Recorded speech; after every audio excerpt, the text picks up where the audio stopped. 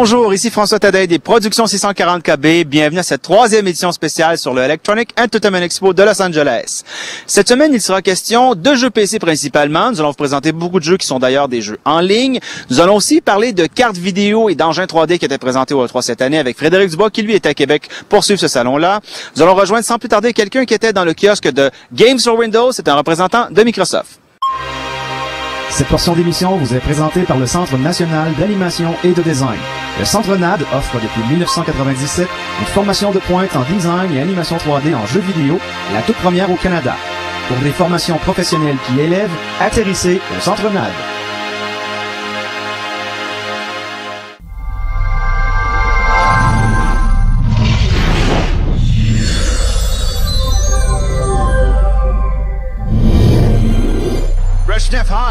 Hello. Let's talk about Microsoft this year. They had the usual Microsoft booth with a lot of Xbox titles, but also another booth in the South Hall called Games for Windows. Why is that? Well, um, the Windows division and Microsoft overall is um, recognizing Windows as a gaming platform and treating it as such. What types of games did we have here? Well, we got the full range of uh, titles, and what we're showcasing here are games that are, are the cutting edge titles um, for the platform this year, um, showing uh, DirectX 9, HLSL, some of our advanced um, technologies within the DirectX um, technology set. You talked about different technologies, DirectX, uh, HSL. What, what can you tell us about these technologies? How do they facilitate the, the life of developers? Okay, what they do, well, on the Windows platform, um, rather than like on console platforms, um, the Windows platform provides for continuous innovation, and that's what the Games for Windows booth is showing. You know, every year we're going to have bigger, you know, better, faster, brighter, you know, uh, games that are looking more and more realistic, not only from a visual standpoint, but moving forward from an audio standpoint, games that are really, you know, pushing the technology envelope. We've got, of course, new graphics card coming every year and now. Uh, ATI and uh, NVIDIA announced new cards, which takes uh, full force of the new uh, DirectX 9 uh, uh, Vertex shaders and uh, pixel shaders, stuff like that. But also, Microsoft announced XNA a few months ago. What can you tell us about this technology? Well, XNA is really Microsoft taking a holistic look at the gaming ecosystem, ecosystem um, and and and applying their their resources to that ecosystem and then also working with the third party partners and, and bringing them into the XNA with things like common file formats for the digital content creation tools so that so that games and technologies are portable across platforms where it makes sense while at the same time allowing each platform to go in depth so that they can take full advantage of each platform whether it be Windows or Xbox. What are your favorite games coming for the Windows PC? Um, one I'm really liking these days, and uh, boy, I, you're asking me to show favoritism here, but um, one that I like is um, Republic Commandos. Um, another one that I like, it's kind of innovative in its method of distribution and its great gameplay, is um, Guild Wars from uh, NCSoft. So those are a couple games that I'm looking forward to. Thank you very much. Yep, thank you.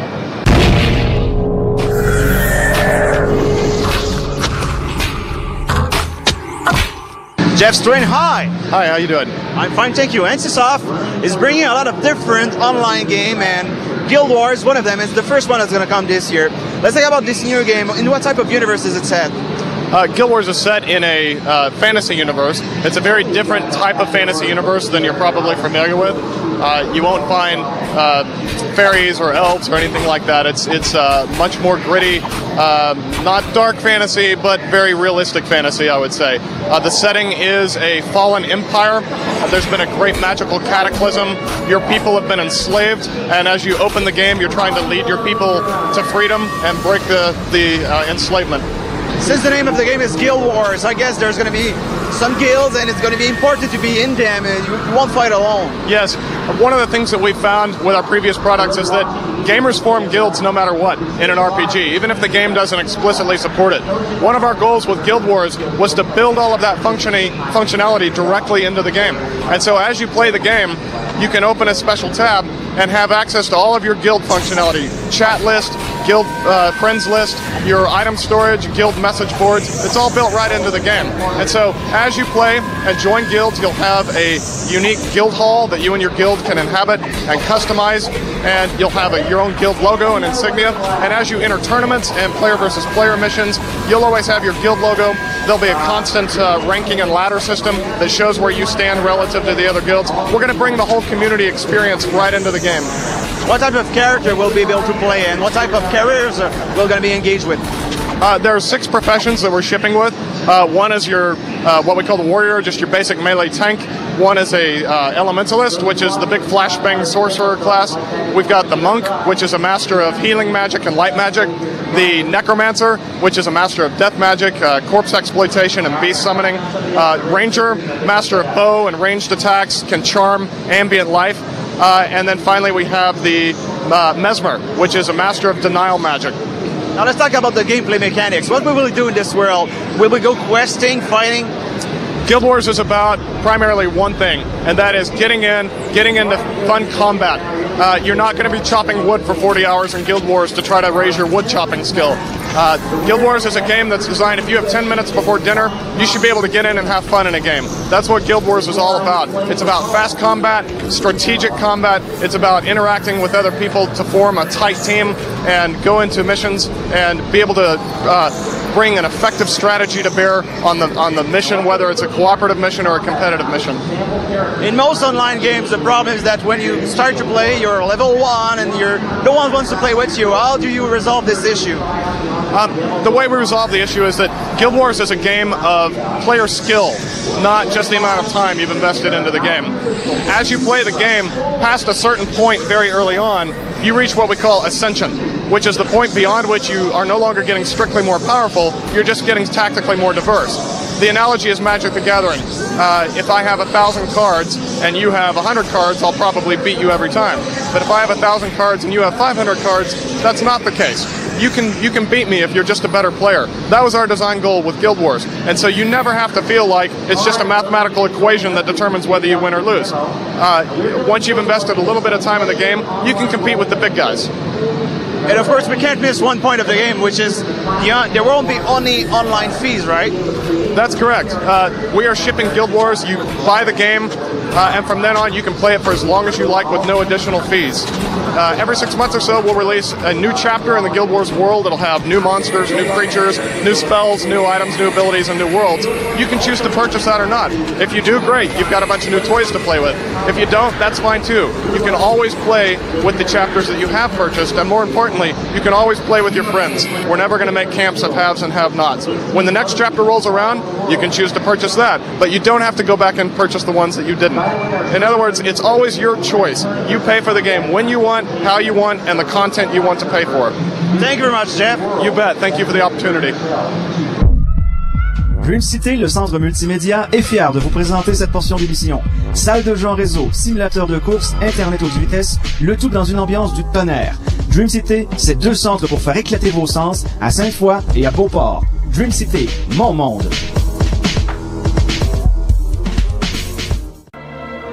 Maybe you can help me. Listen here and listen well. If you want a real life, one with freedom, one with power. Something from me. You want to try being a scout? Scott Hartzman, hi. Hi there. How are you doing? I'm fine, thank you. Let's talk about EverQuest 2. First of all, let's talk about the first series, EverQuest, and the old 7 expansion. It was a major success for Sony Online Entertainment. Oh, absolutely. We couldn't be more proud of EverQuest. It continues to be a major, major success today, and something that thousands or hundreds of thousands of people continue to love. And why it was a, so much a big success, do you think? I think it's because once you get people online together playing with each other, it becomes much, much more entertaining than just a standard old game. People are more inclined to stick around longer wherever their friends are. The same reason people tend to hang around with friends more often in real life. Let's talk about the graphic engine of EverQuest 2. Oh, the graphics engine of EverQuest 2 is all for brand new hardware. You definitely, definitely need a much better system to play EverQuest 2. It's all uh, pixel shaders and vertex shaders, and all of that is absolutely required for our game. So we can really show off some of the cool things, like we have we have the same water model that was used in Titanic, uh, some of the best spell effects out there, and some of the most detailed NPCs and environments you'll ever see in a game.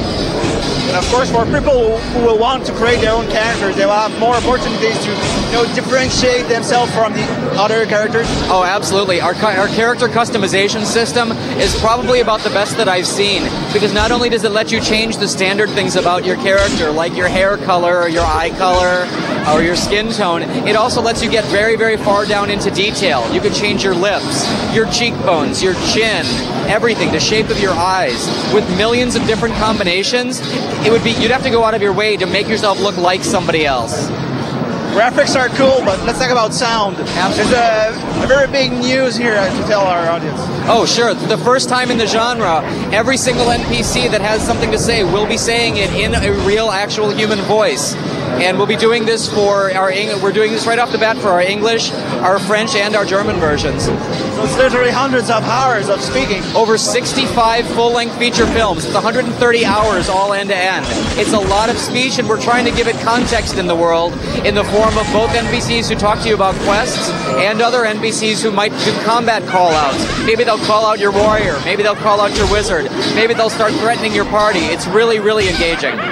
When a player will log on for the first time, what will he do besides creating his character, exploring the environment? What will be available to him? Quests, stuff like that. Well, the first thing that you see when you log in is our tutorial. Since over 2 million people have been exposed to the EverQuest universe, we wanted to make sure that there was a way to learn the game that was both entertaining for people who've already played EverQuest games and uh, but still uh, but still easy enough to learn the game for people who've never played before. So we start you out on our boat, which is a tutorial where they take you through and explain everything from the controls and the movement to combat, and it ends with a very, very, very cool dragon combat scene that will save us a bit of a surprise. Thank you very much. Not a problem. Thank you very much. Ce segment vous est présenté par l'Imaginaire, le spécialiste de la collection à Québec. Son équipe de connaisseurs sera vous renseigner en matière de jeux de rôle, armes médiévales, figurines, comics, bandes dessinées, cartes de jeu et plus encore. L'Imaginaire, c'est plus de 27 500 produits disponibles en ligne.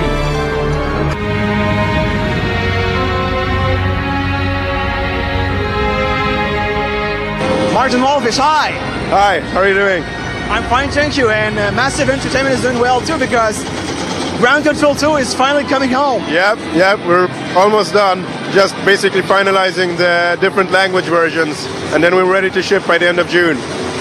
Let's talk about this game. It's very different from the past game, but uh, what is uh, the same? What will the, the feeling of the game is the same, right?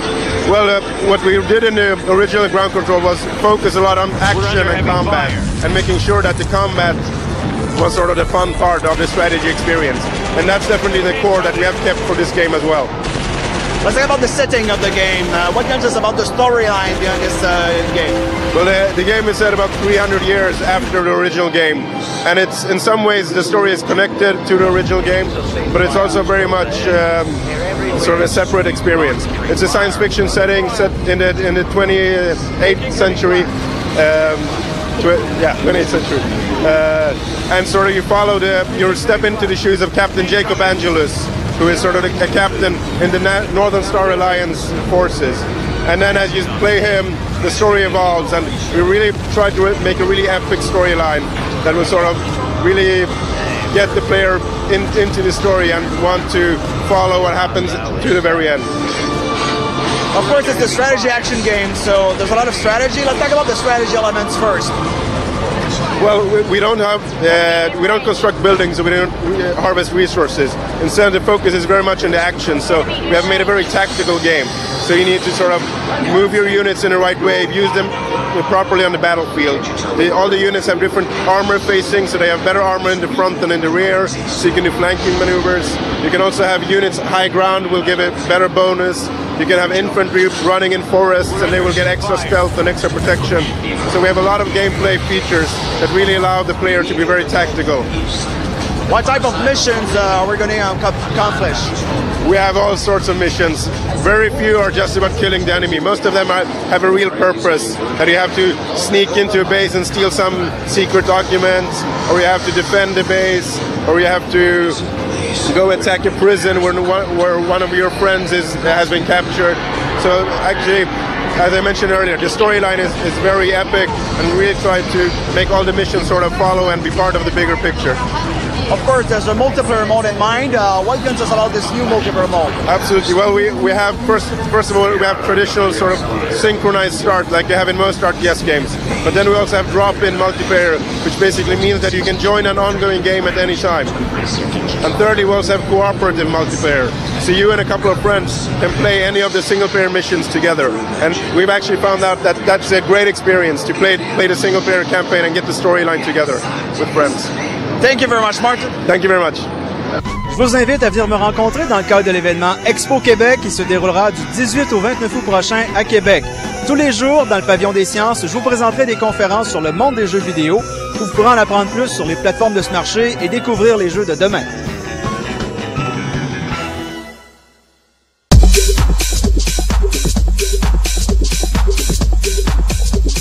Luc Bartolet, bonjour. Bonjour. Nous allons parler ensemble euh, du jeu de Sims 2 que tout le monde attend et c'est la suite du célèbre jeu qui a connu un énorme succès. Alors parlez-nous d'abord de ce qui est vraiment nouveau dans cette série. Eh bien écoute, ce qui est essentiel euh, tout d'abord, c'est que le jeu est en trois dimensions. Donc euh, c'est vraiment graphiquement une petite révolution dans le domaine des Sims. Et ensuite, euh, beaucoup de choses qui ont changé de par euh, l'amélioration de la qualité des graphiques, qui nous a permis en fait de rendre les Sims beaucoup plus intelligents et aussi de nous concentrer sur la différenciation de chacun des Sims. Donc en fait, on a un code génétique maintenant pour les Sims et ça qui permet à chaque Sims d'être absolument unique et aussi de s'occuper de des parents et des enfants et d'avoir des enfants qui en fait portent les caractères de leurs parents. Au niveau de l'interface du jeu, c'était une interface qui était quand même assez bien établie, même une interface gagnante, on pourrait dire. Est-ce que vous avez retravaillé un peu cette interface-là aussi? Bon, essentiellement, on va retrouver les mêmes éléments forts, euh, de pouvoir diriger les Sims en euh, simplement sélectionnant des objets, des actions sur les objets. Sur ça, ça n'a pas changé. Euh, au niveau de l'interface, ce qui surprend le plus, en fait, c'est euh, l'immersion que l'on a en jouant le jeu, parce que grâce à la trois dimensions euh, et au contrôle de la caméra, on peut se rapprocher beaucoup plus de ces Sims. On peut voir leurs expressions sur leur visage, savoir ce qu'ils pensent beaucoup mieux. Et ça, ça, ça permet de se connecter encore plus à ces Sims qu'auparavant. Au niveau des professions, de ce qu'un Sims va pouvoir faire, d'où il va pouvoir aller, est-ce qu'il y a des nouveautés? Euh, ben, en fait, euh, beaucoup plus de détails. C'est ça que je pense qui, euh, passionne le plus les gens, c'est euh, le côté détail qui est ajouté. Euh, la vie des Sims va, grandir. Alors c'est une, au- une autre partie des nouveautés, c'est le fait que les Sims maintenant grandissent. Donc les enfants vont devenir teenagers, adultes. Ils vont vieillir aussi. Et en fait, ce qui se passe dans leur vie va avoir un impact sur toute leur vie. Donc il y a des moments, les grands moments de la vie des Sims. euh, le premier baiser, euh, la première conquête amoureuse, tout ça va avoir des répercussions sur leur vie euh, plus tard. Bien entendu, encore une fois, la maison va être entièrement décorable comme on le voudra. Bien sûr, alors tous les, points forts de ce que l'on avait dans les Sims euh, 1, la version, euh, le, custom content, c'est-à-dire tous le- les choses qui ont été, les objets qui ont été fabriqués par les utilisateurs, euh, les, skins, les peaux qui ont été fabriqués pour euh, les Sims, tout ça, ça se retrouve dans la version 2. Et ce sera même mieux intégré encore que, la première fois. Donc en fait, euh, essayer de pousser tous ces éléments forts une étape plus loin dans le jeu. Et au niveau du voisinage, est-ce qu'il y aura des choses euh, différentes? Oui, alors euh, en fait beaucoup plus grand essentiellement. Et on va commencer à voir euh, des choses un peu plus intéressantes qui vont venir avec la troisième dimension, mais on va essayer de garder quelques surprises pour quand on, on va sortir le jeu. Monsieur Bartolet, merci beaucoup. Mais avec plaisir. Au revoir. Lorsque l'équipe de Micro.info a besoin d'équipements multimédia et audio-vidéo, elle fait confiance à NGW Communication, un spécialiste de Québec en service, vente, location et installation d'équipements professionnels. Depuis déjà 10 ans, NGW Communication offre des caméras, des magnétoscopes, des projecteurs et des équipements de montage non linéaire pour tous les besoins et dans toutes les grandes marques.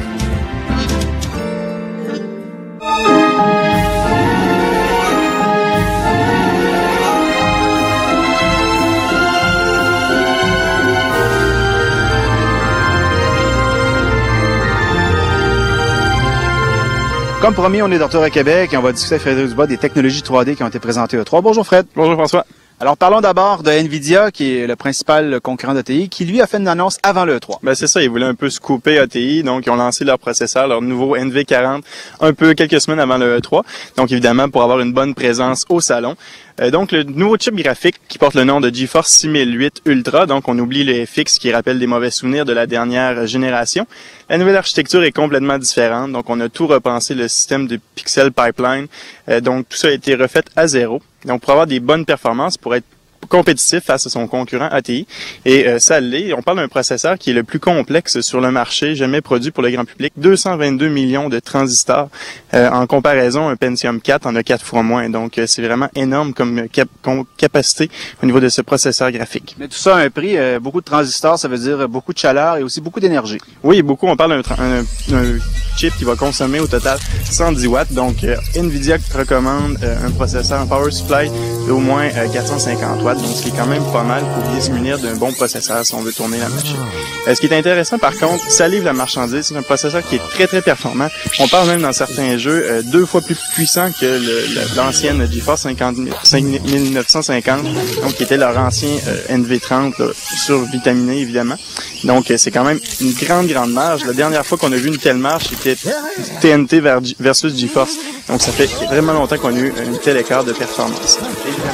Euh, c'est un processeur qui supporte des nouvelles technologies, qui dépassent toutes les spécifications de DirectX 9. On parle des shaders modèle 3.0, ce qui ne sera pas supporté avant DirectX 9.0c. Donc c'est vraiment une carte qui est d'avenir, qui va faire plusieurs années avec les technologies qui vont être encore actuelles. Ça, c'est si ces technologies sont utilisées, parce qu'on l'a vu au E3, les nouveaux engins 3D, il n'y en a pas vraiment. Ben, si on regarde Doom 3 qui devrait sortir cet été, ça reste un engin qui est DirectX 8.1 essentiellement. Half-Life 2 va supporter beaucoup de technologies de DirectX 9.0, mais les dernières technologies que, que la carte permet de supporter ne seront pas disponibles probablement avant au moins un an et demi. Bon, ça coûte combien là, la carte Nvidia si on en, veut une demain matin? On parle de facilement 750 dollars canadiens, donc ce qui est quand même un, bon investissement. Donc, si on compare, le reste des pièces dans votre ordinateur ne risque pas de vous coûter ce prix-là au total. Et ATI, lui, ben, a dévoilé euh, sa nouvelle technologie au E3. Euh, un peu avant, évidemment, le E3, quelques jours avant presque, on lance la Radeon X800, donc dans une version Pro et XT. Euh, c'est essentiellement la même architecture quand même que le R300 qui domine le marché quand même depuis presque deux ans. Donc c'est une architecture qui est solide, qui est éprouvée. Donc ATI n'a pas décidé de mettre beaucoup de bonbons technologiques comme Nvidia l'a fait. On a juste mis la même bonne recette et on l'a survitaminé. On parle de 6 pixels pipeline avec une fréquence de cadence qui est supérieure, on travaille avec le, comme Nvidia avec la GDDR3, donc il a toute nouvelle mémoire graphique ultra performante qui va nous permettre d'atteindre des, euh, des, taux de remplissage de, de, de, de texture au-delà de 35 GB par seconde, qui est énorme. Et là, euh, évidemment, comme c'est une carte euh, qui va livrer une puissance brute là, assez impressionnante, euh, on n'a pas nécessairement besoin d'une grande alimentation et d'un gros refroidisseur parce que là, ici, on n'a pas là été, je dirais, jusqu'à tout modifier là, comme le fait NVIDIA. Ben exact. Comme on a gardé la même architecture, c'est quelque chose qui est quand même plus léger, plus facile à produire. On parle de 160 millions de transistors. C'est une carte qui, grosso modo, va consommer aux alentours de 90 watts, ce qui est quand même, bon, 20 de moins que ce qu'NVIDIA a réussi à faire. C'est des cartes quand même assez gourmandes si on compare ce qui s'est déjà fait sur le marché. Mais on est beaucoup plus modeste côté d'ATI. Probablement que se garde une marge de manœuvre pour la prochaine génération. Et en termes de performance, ça reste une carte qui est pratiquement aussi performante, même plus environ de 2 à 3 que la GeForce 6008 Ultra. Donc, on peut dire que c'est un beau pied de nez de la part de ATI face à Nvidia, qui, euh, alors qu'on croyait qu'Nvidia avait vraiment pris les devants quelques semaines avant, alors ATI vient renfoncer encore le clou en, se mettant presque au même niveau, voire supérieur à, Nvidia. Par contre, faut dire quand même que c'est un chip qui offre moins de possibilités. Euh, on va avoir moins d'avancement technologique parce qu'on se limite à ce qui se fait dans le DirectX 9.0, donc les Pixel Model 2.0. Euh, donc, on est moins en avance que Nvidia, ça c'est sûr du côté prix, c'est équivalent, c'est des cartes très chères. Oui, bien évidemment, leur modèle XT, qui est leur modèle haut de gamme, va se vendre dans les mêmes prix, autour de 500 dollars américains, donc 750 dollars canadiens. Donc ça, c'est des cartes pour les, vrais fans de jeux PC, et on, doit le dire, au E3, on n'a pas vu par contre vraiment beaucoup de nouveaux engins 3D. C'était encore l'engin de Doom 3, l'engin d'Half-Life 2, mais on avait une surprise. Oui, ben effectivement, euh, Epic représentait le nouveau Unreal Engine 3.0, qui est leur prochaine mouture du, du, très très populaire Unreal Engine 2, qui équipe la plupart des jeux, je dirais présentement. Donc Unreal 2004 évidemment, mais plusieurs autres jeux qui sont très populaires présentement sur le marché. Le Unreal Engine 3.0, c'est essentiellement un engin graphique qui se destine aux jeux de prochaine génération, évidemment, ça va supporter tous les effets de DirectX 9.0 et plus. Euh, on s'adresse aussi aux consoles de prochaine génération. Donc, c'est pas un engin qui sera commercialisé dans la Xbox telle qu'on la connaît, mais plutôt dans la prochaine euh, génération de consoles. Euh, c'est une, au niveau de la démo technologique qui était présentée, c'est complètement ahurissant. On utilise des technologies évidemment très avancées qu'on retrouve, qu'on retrouve en fait très peu présentement dans les engins, comme le displacement mapping, qui est un peu l'évolution du bump mapping, qui donne un effet vraiment de texturisation très très très très précise sur les alors que ça coûte pas beaucoup très très cher en polygone, donc beaucoup plus facile à gérer. La présentation était vraiment axée sur les effets de lumière, de réflexion, de, de soft shadow qu'on appelle donc les ombres qui sont très très très floues, très réalistes en réalité. Euh, c'est un engin évidemment qui utilise des technologies comme le normal mapping, qui est une fonction qui permet d'afficher des, des, objets qui semblent très très élevés en polygone, donc ultra précis et euh, qui nous permettent quand même d'économiser sur le nombre de polygones, donc rendre tout ça avec un haut taux de framerate. Donc, il y a beaucoup d'images par seconde qui reste le jeu très, très fluide. Donc, ça va être quelque chose de très, très ahurissant quand on va le voir. Mais évidemment, présentement, il n'y a pas vraiment de jeu annoncé. Euh, c'est un engin qui est encore en développement présentement. Par contre, Doom 3 et Half-Life 2 nous promet que ça s'en vient pour cet été, alors on espère que ça va arriver. Est-ce que ça va vraiment prendre les dernières technologies pour utiliser ça ou les cartes de peut-être la dernière année vont suffire? Ben c'est ça qui est intéressant parce qu'on dit que chez Valve, euh, le, le Source Engine qui va épauler Half-Life 2 sera quand même assez rétro-compatible. C'est-à-dire que les gens qui vont avoir une plus petite machine, quelque chose de plus modeste, voire même DirectX 7, les anciennes cartes comme GeForce 4 MX, euh, alors on devrait pouvoir quand même jouer au jeu. Évidemment, on n'aura pas tous les bonbons graphiques et technologiques que l'engin peut nous donner, mais on va avoir quand même quelque chose qui va être très intéressant au niveau où on va pouvoir jouer au jeu, donc c'est quand même l'essentiel. Du côté de Doom 3, c'est un engin, comme je le disais tout à l'heure, qui est DirectX 8.1. Donc, essentiellement, en théorie, la, première fois qu'on avait vu même l'engin de, Doom 3, c'était sur une GeForce 3, donc des PC plus modestes, autour d'un GHz, probablement qu'une petite GeForce 3, GeForce 4 même. Euh, on devrait avoir quand même une bonne qualité d'image qui est quand même intéressant parce qu'on n'aura pas, ça veut pas dire nécessairement qu'on a besoin d'aller chercher la dernière carte graphique à 800 dollars, à moins qu'ils voulaient aller scorer 15 000 points, évidemment, dans 3D Mark 2003, pour avoir, pour impressionner vos amis. Mais outre ça, présentement, l'intérêt n'est pas vraiment là. Peut-être si on regarde des jeux comme Far Cry qui sont quand même assez lourds, qui demandent beaucoup de processeurs, de mémoire, euh, on va peut-être aller, on va avoir plus envie d'aller chercher une carte graphique qui va nous donner vraiment un bon niveau de, de, d'image par seconde pour avoir quelque chose de plus fluide. Mais essentiellement, ça reste que présentement, les cartes graphiques et tout ce qui est technologie graphique est en avance sur l'industrie du jeu vidéo. Merci Frédéric. Ça fait plaisir François. Le site web de micro.info qui vous propose des contenus vidéo, des forums, des articles et des nouvelles est hébergé grâce à la collaboration de Cybercat. Fondé en 1997, Cybercat est une firme d'ingénieurs spécialisée dans le développement d'applications conçues sur mesure pour les personnes mobiles. Voilà, c'est déjà tout pour cette autre émission spéciale de Micro.info sur le E3 2004. Revenez-nous la semaine prochaine puisque nous allons vous présenter des reportages qui ont été faits avec des Québécois au E3. Il y avait des développeurs québécois, dont Ubisoft, le GeForce, Golem Labs et ainsi de suite. On va vous présenter ces reportages. Également, il va être question de photos numériques puisque nous avons pris amplement de photos au cours de ce voyage. On va vous parler donc de ces technologies émergentes.